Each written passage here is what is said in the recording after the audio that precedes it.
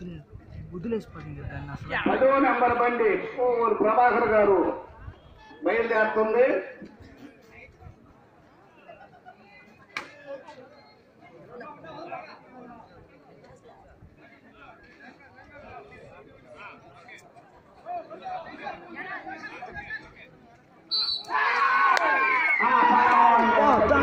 గురికిందా బండి బయలుదేరింది బయలుదేరింది మీరంతా పక్కన. పిక్కెత్తుకుంటుంది చూడు బండి.